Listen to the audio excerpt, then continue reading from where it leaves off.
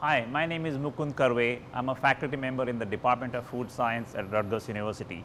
I teach the food engineering lecture in the Introduction to Food Science course.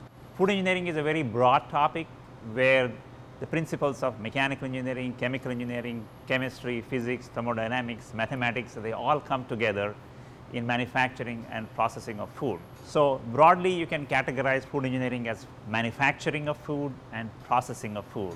In food manufacturing you take raw materials or ingredients and convert them into a finished product. An example of that is breakfast cereals or Cheetos or combos. For example, this machine here which is called an extruder is quite commonly used to make products such as this. So, what we started with was corn meal or corn flour which was put in the back end of this machine and the machine processed it, processed it in a matter of 1 minute or 2 minutes. In doing so it also cooked the product and it came out of this small die as it is called which has a tiny hole which is about 3 millimeters, but when it came out it expanded into this giant piece which is about 10 millimeters in diameter and it was cut into pieces to get the shape that you see here. They look like Cheetos or corn curls. So, how the material was processed in this machine what the machine did to it and what we can change to improve and maintain the quality is what food manufacturing is all about. Now, let us talk about what is involved in food processing. So, in food processing we will primarily talk about processes and technologies that are used to preserve food.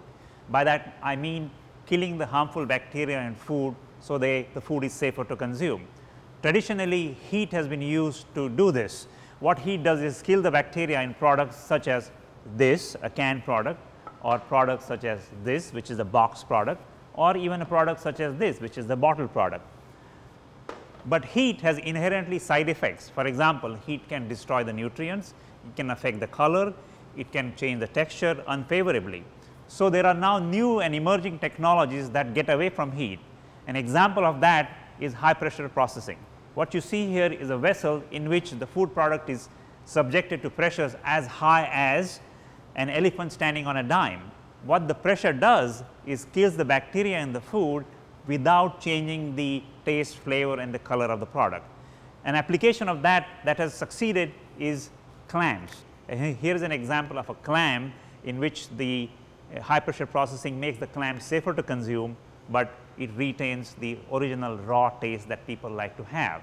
So, in this class you will also learn about application of ultraviolet light, ozone, electric field, magnetic field, ultrasound waves to process food.